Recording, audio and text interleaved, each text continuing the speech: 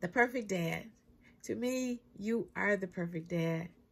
Your strength, wisdom, and courage consistently provides a desire to achieve. Well known as the head of the home to protect, love, and coddle.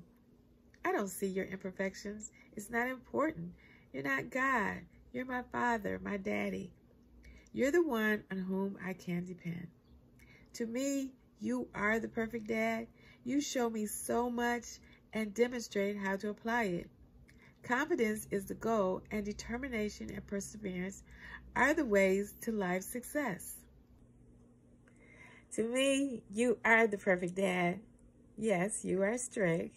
Yes, sometimes harsh.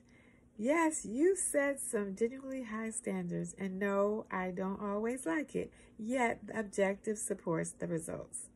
To me, you are the perfect dad.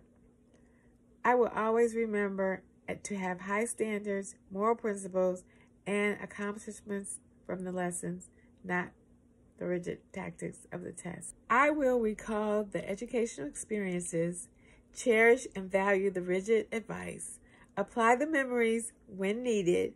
And as a result, the lessons positively guide and mold me into the perfect adult child. Thank you, Daddy.